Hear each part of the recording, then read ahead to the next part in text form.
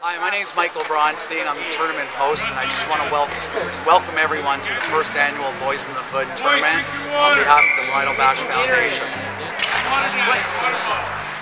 Tension the whistle blows, and the puck goes down the ice. The goalie jumps and the players bump, and the fans all go insane. Someone roars, Bobby scores at the good old hockey game. Oh, the good old hockey. We got the idea of putting together a hockey tournament for uh, over 150 uh, participants, eight teams of adults. And we thought it would be a great idea in between the semi-final game and the final game to have some kids play.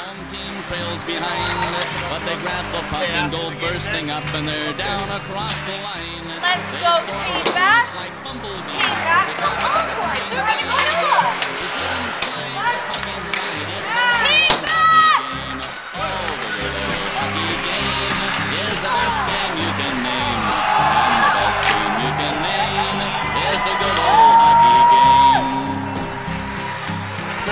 Period.